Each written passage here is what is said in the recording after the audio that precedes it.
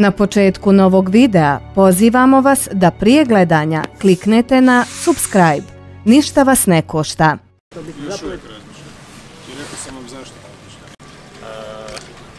Ne, bih, to usporedio kao kad se mama i tata svađaju, ali ja sam vrhovni zapovjednik e, i bilo bi normalno da imamo zajedničko obilježavanje. Među ostalim i zato da vojska ne mora e, ići nekoliko puta. Ili recimo da im ja kažem da budu sa mnom cijelo vrijeme kao zadnje dva puta. To nije način. To nije način i zato smatram da je poštenije prema profesionalnim vojnicima da budu pošteđeni od dnevne politike, ali ovo je dnevna politika. Dakle, vaša zapovjed bi se odnosila i na časnike i na obične vojnike, jer malo prije Ne. ministar rekao. Načelnik glavnog stožera. Na načelnik. I na njegovog zamjenika koji možda tamo ne mora biti zapovjednika. Na najviši vojni vrh ne na vojnike. Vojnici su tamo, oni će biti tamo. Dakle, mislite na počasnu zaštitu bojnu, odnosno vodnu, oni će biti tamo. Oni doduše tamo mogu stajati dva sata, jer to su ipak ljudi valjda niže kategorije, ne, ali, ali dobro, nije za to kriv ministar. Ali ministar je govorio o tome da postoji nekakav plan e, koji je donesen, koji je donesen u suradnji ministarstva i e, glavnog- glavnog stožera, da se to na, na takav način inače funkcionira. Možete biti jasni, par malo jasno. Ste Pokušao je reći zapravo da te da je plan tih svih aktivnosti donesen već na najvišoj razini i da je to način na koji inače stvari u civilno vrijeme funkcioniraju. Nisam opet razumio što mislim. E, Kako, kako je to korelaciji ili u onim što sam rekao? Dakle, je li to, je li situacija takva u, kojoj tako funkcioniraju stvari, barem ako je tako istina, kao što priča ministar, je li to situacija u kojoj predsjednik može uletiti i promijeniti? Naravno da može. To sam napravio i napravit ću, nadam se više nikad. Ali ako bude potreba, to ću napraviti. A to su rekli oni Plenković nakon nastavnice. Nemojte me tjerati da to radim. Dakle, ja sam vrhovni zapovjednik. Naravno da, mislim, ministar želi određenu vrstu utjecaja autonomije, to potpuno normalno. Zna se kao vrhovni zapovjednik. E, Slična situacija na neki način i sa veleposlanicima. Napomenuli ste da ćete pozvati gospodina Biševića na konzultacije Da, u doće, Zagreb. doći će ovaj tjedan, ali o tome više neću govoriti, to je sad interna stvar. Dakle, niti će on govoriti. Dakle, ja sam ga pozvao da, da neke stvari meni kaže direktno. Iz njega. vlade su napomenuli da oni i dalje imaju potpuno povjerenje u njega bez obzira na optužbe koje pljušte po njemu iz redova vojvođanskih Hrvata. Vidio sam i ja to i razgovarao s tim ljudima i to me brine i želim, želim preciznije informacije. I neke stvari ću direktno od ambasadora i reći mu neke stvari, ali to nije za mene. A što zapravo zanima? Što ćete ga pitati? Istina. Istina. Dakle, neke činjenice treba utvrditi da bi bile činjenice. Ja sam jučer rekao da tu netko ne govori baš istinu. Tu su detalji vrlo bitni i stvari su osjetljive. Radi se o zastupnicima i predstavnicima hrvatske manjine već godine. To su ljudi s kojima moramo raditi. Ali kažem, tu bih stao i o tome ću razgovarati s ambasadorom. To, sam, to do sad nisam ni radio, ali s obzirom da se radi o susjednoj državi, s kojom imamo delikatne odnose, to sam, to sam napravio. Što ste rekli da ovo isto kao, kao Ne, odnosa? nije isto, Pa ne, nije nije. isto, ali je slično. Međutim, ja ću vam sad reći još jednu stvar. Dakle, vi imate, imate odluku, e, to je podzakonski akt kojim se uređuje, jer detaljnije razrađuje postupak imenovanja i dogovora oko imenovanja predstavnika, odnosno šefova diplomatsko-konzularnih predstavništava Republike Hrvatske. Ta odluka je još iz 2012. Dakle, donesena na početku mog premijerskog mandata i koristi se i na nju se poziva kao na pravnu osnovu i dan danas, dakle i Plenkovićeva vlada. Cijelo vrijeme. Dakle, nemate ni jednu odluku Plenkovićeve vlade u imenovanju veleposlanika u toj proceduri u kojoj se osim ustava i zakona ne pozivaju na tu odluku. U toj odluci neke stvari pišu vrlo jasno. Pišu da svemu moraju prethoditi konzultacije ministra vanjskih poslova sa uredom predsjednika. Vrlo neformalno i, diskre- i, dakle, i diskretno. To piše tamo. I na to se redovito poziva Plenkovićeva vlada, odnosno tajništvo vlade koje to automatski tamo stavlja, a njihov šef to nije pročitao. To bi vjerojatno promijenio da je znao ranije, ali sad ne može. Dakle, čak i u toj odluci, koju vlada može promijeniti. Međutim, kako smo je mi donosili? U dogovoru sa predsjednikom Republike. Dakle, ne ide preko koljena. Se mogu napisati u odluci vlade nešto, odluke se mijenjaju, ali ovo je na snazi već 9 godina. Ako to, ako to predsjednik države, tadašnji Josipović, ne želi ili smatra da ulazi u prostor njegovih odgovornosti, onda je ta odluka besmislena. Dakle, ta odluka je donesena dogovorom, konsenzusom, tako da odgovara i jednoj i drugoj ustavnoj kategoriji. Interesantno da je Plenković, koji već petu, šestu godine premijer nikad nije dirao, nego se stalno poziva na nju, dakle u preambulama i u uvodi- u uvodima svih imenovanja.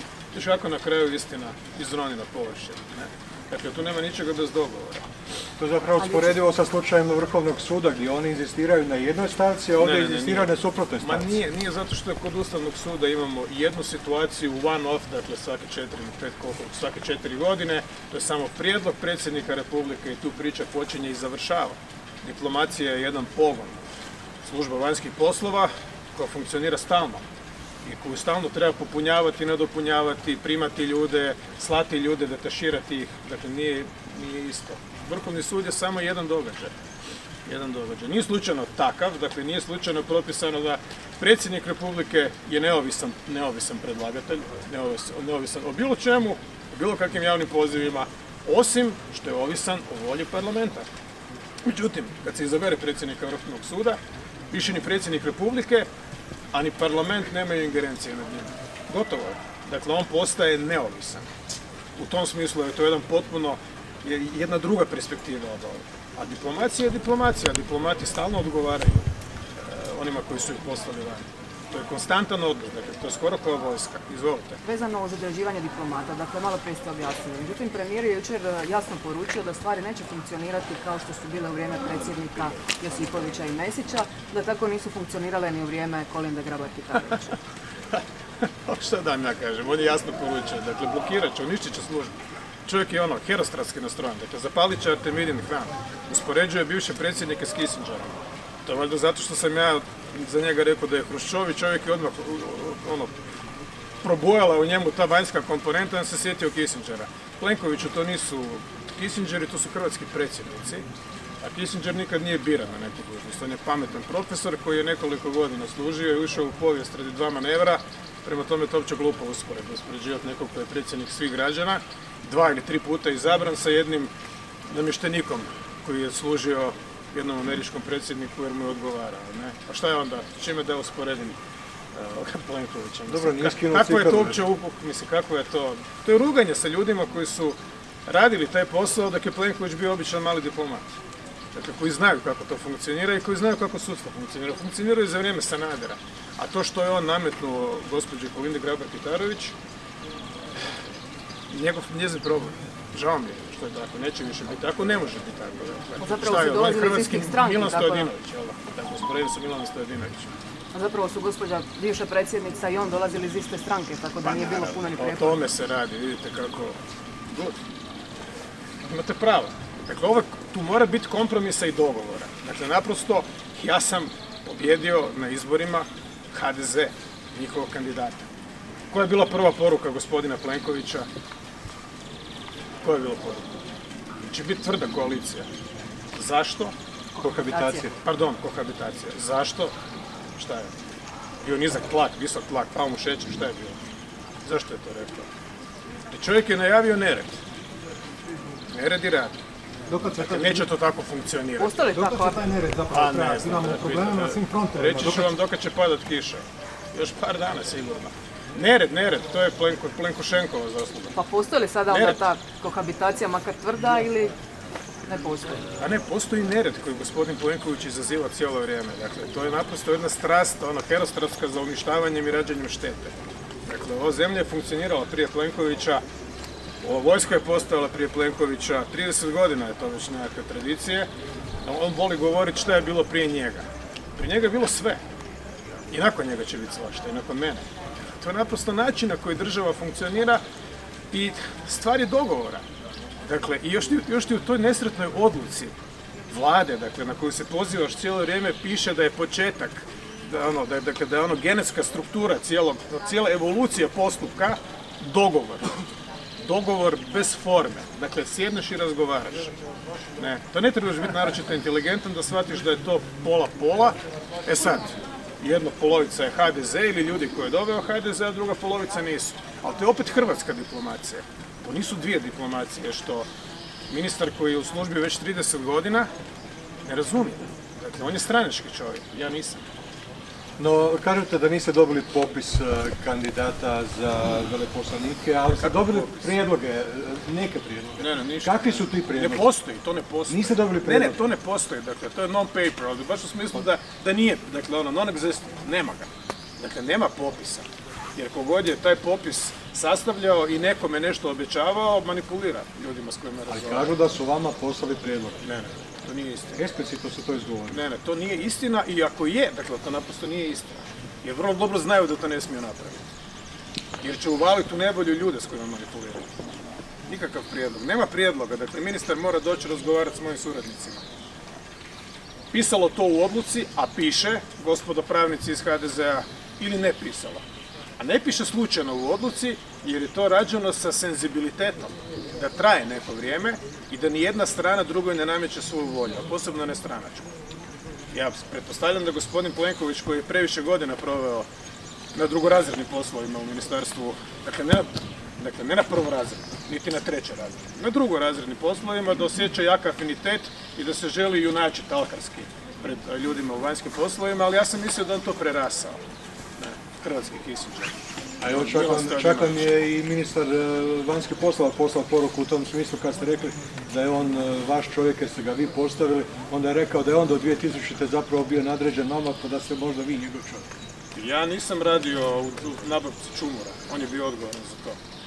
I papira, i toalet papira. To je radio, ne, pa nije bio diplomat. On je bio blizak rođak ili prijatelj ministra koji je se bavio, bio tajnik ministarstva. ne čovjek neke službe. Dalje nisam radio u toj službi. Sad mi vi objasnite kako je mogu biti nadređeni. Ja sam bio nadređeni Štiru, njemu, Kovaču, svim tim ljudima toga. toga. Znači tog razgovora o kojem govorite još uvijek nije bilo. Nije bilo zato što ministar ne smije doći. Odnosno, ministar ne može doći do premijera danas. To isto problem u komunikaciji. Ali doći će na kraju, dakle, i sješće, razgovarat će s mojim suradnicima i dogovorit će se. Jer to nije, zaista nije u fokusu mog interesa da određujem koji će ići za hrvatskog veleposlanika u Sofiju. Da li to je Europska unija, ne znam, ili na neku drugu. Nije, nije presudno stvar. Ili u Japan, ili u Slovačku. Nije presudno. Važnije je ko će biti predsjednica Vrhovnog suda i neke druge stvari su važnije i kako će sudovi funkcionirati, kako će pravosuđe funkcionirati, a to ko će biti hrvatski veleposlanik u Rimu nije nebitno, ali ko je hrvatski veleposlanik u Rimu? Znate? Ne znam. Ja sad ne sjećam. Zaboravili ste da je politik. Dobar je ambasador. Sasvim dobar ambasador. Čovjek je bio običan političar. Preveli su ga. To je ta vrsta prevođenja na slobodni teritorij. Ne? Konvalidacija. Pa Dobar ambasador. Ni prvi ni zadnji. A, jednom trenutku ćemo imati zadnjeg. Hvala. Možete nam samo reći u vezi Hrvatske vojske i e, na odgoditi ili će ipak biti do To morate ministra pitati. Dakle, Pitali u smo to- ga, u pitamo tom povjerenstvu, ne, ne, tu ja njemu vjerujem, mislim, dakle, e, e, u povjerenstvu je i nekoliko vojnika bilo, prije svega načelnik glavnog stožera, od kojeg ja imam sve informacije koje postoje, tako da nije bilo potrebe da ja sudjelujem u tome ili da moji suradnici iz ureda. Sjećate se tog prijepora? Kako je unutra načelnik glavnog stožera, to je kao da je moj savjetnik. On je moj savjetnik, glavni vojni savjetnik, načelnik glavnog stožera. I sad kad se valjda poplaćaju dugovi uh, veledrogerijama koji su opet kozmički narasli, nepotrebno, sad će se valjda naći i politički trenutak da se donese ta odluka. A odluku će morati donijeti premijer. Vjerujete da će biti donesena i da će... Ne znam, to ne znam. Mislim, trebalo bi... Ajde, kratko, molim vas, čekam ministar. U Kijevu ste rekli da se u Hrvatskoj nikad nije bolje živjelo. Zbog čega onda... U Kijevu, u Kijevu. U Kijevu ste rekli, da, da. Zato što je sve bilo puno lošije od toga. Ne kažem da je sad, rekao sam da nije ni sad sjajno. Zbog čega onda mladi ljudi odlaze zapravo? I iz Hrvatske i iz Zato Kijeva. što ni sad nije sjajno. Nekad nisu imali gdje otići. I onda bi još dočekao rat pa bi tamo i poginuli, ne? Sad je ipak manje loše nego što je bilo. Dakle, ja sam rekao da u Kijevu, to samo govori koliko je Kijevo imalo tešku prošlost, nije nikad bilo dobro kao sada, a sad ljudi nisu zadovoljni. Mislim da je to vrlo neutralna, ne politička izjava, ne stranačka i da nikome ne bi trebalo smetati, to je istina. Ajde još. ajde. Ako možete vrlo kratko ovaj komentirati... za e, cjepivo koji očito E, u raspadu i ne funkcionira. Je li ministar Beroš teret? A gledajte, nekom sam to rekao pa mi je onda opsovao, dakle ne cijepi se nego se, ne. Ljudi to na, na, na tako gledaju. Ali da, ako je sustav plaćen, to bi trebalo, ovaj, mislim, neko bi trebao odgovarati za to. Ja ne kažem da je ministar to osobno naručio, ali na kraju krajeva trebao bi to platiti izvođač. Dakle, koji bi trebao imati bankovnu garanciju, jamstvo, kojim jamči da će posao funkcionirati. Pa tako se rade posao. U javnoj nabavi, mislim, ja ne znam za druge načine. Inače bi svi, do, inače niko, niko se ne bi držao ničega. Dakle, morate dati neko jamstvo. Imali smo dakle slučaj 3120 cijepljenih u jednom danu, je li to nešto što, je, što možemo e, proglasiti uspješnom kampanjom ili je to kraj kampanje? Što je to? 3200 cijepljenih u jednom danu. 3120. Gdje u Kninu? Ne nego u Hrvatskoj. To je malo. Ponedjeljak. To je kao puno ili malo? Malo. Pa ja isto kažem da je malo. Hvala.